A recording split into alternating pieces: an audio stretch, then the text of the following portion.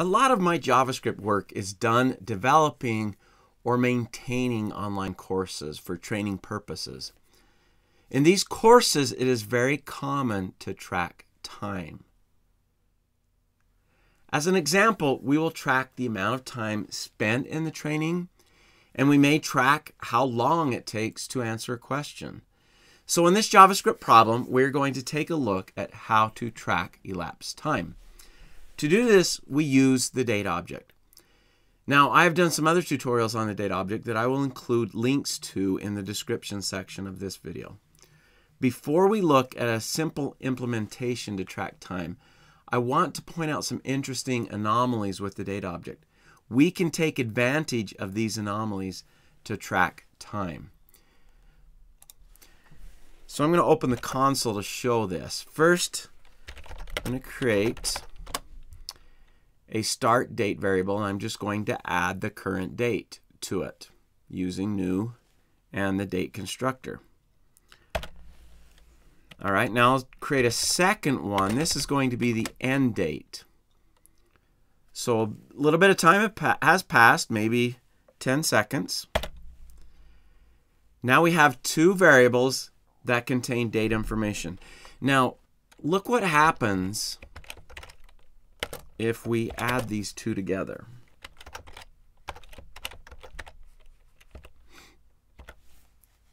Basically what it does is it prints out the data information and then just concatenates those two together. So the two strings representing the date get concatenated together. Now something interesting is what happens when we subtract them. And this is what we want to take advantage of. So basically what it does is it subtracts the total number of milliseconds in start date from the total number of milliseconds in end date. And that tells us how many seconds it's been, well, technically how many milliseconds it's been since the start date was created and the end date. Now, if you struggle with remembering which to subtract from which, think of it this way.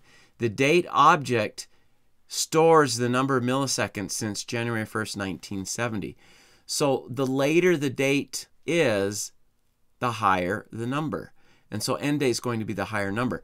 And so we subtract start date from end date to get the total number of milliseconds. And so really that's 11.197 seconds. That's how long it took between the creation of those two variables. Now if you happen to do it the wrong way, it's really easy to tell. Obviously you get a negative number and then you know it's not exactly right. So we can take advantage of this to determine the number of milliseconds between two dates. We don't have to use one of the methods of the date object to get the milliseconds first. We can just immediately subtract the dates. So using that little technique, here's a simple solution that shows how we would compute elapsed time. So here I've added an event listener to the document and I'm just checking for the DOM content loaded. So that, that basically tells me when the HTML page is loaded.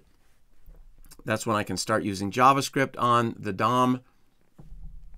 And what I do is I call an init function. Up here is my init function. So initially I do two things. I find a button. So the reason I'm finding a button is this is the page. We're going to use an example. I'm finding this button here so I can attach an event to it. And then I'm recording the start time. I simply use new date to accomplish that. And here's where I add the event listener.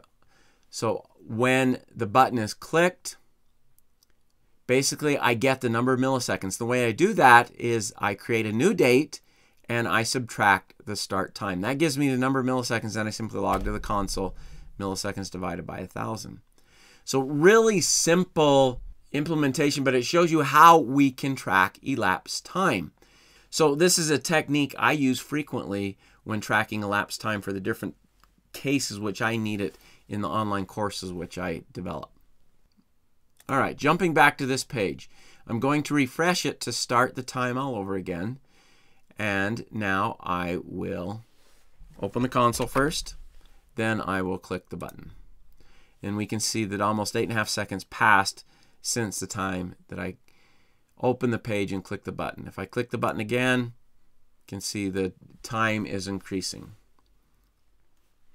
If you found this video helpful, please give it a like. If you would like to further add to your JavaScript skills, you can do one of the following. Click the video link in the center to access another tutorial right away. And if you haven't subscribed to our channel, click the circle link on the left. I release a new tutorial each week. And finally, if you'd like to visit the All Things JavaScript website for full courses and a complete list of all the tutorials we've published, click the link on the right. Thanks for watching.